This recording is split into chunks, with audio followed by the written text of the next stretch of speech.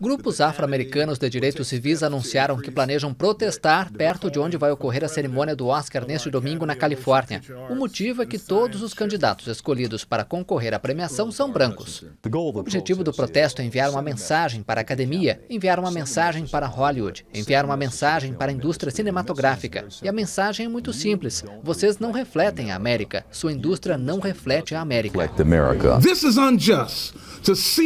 Isso é injusto, ver a falta de afro-americanos no evento. Estamos chateados. Um ator que teve a atuação elogiada e ficou de fora do Oscar foi David Oyelowo, que fez Martin Luther King em Selma. A ausência dele foi criticada em Hollywood como a prova da falta de diversidade entre os membros da academia.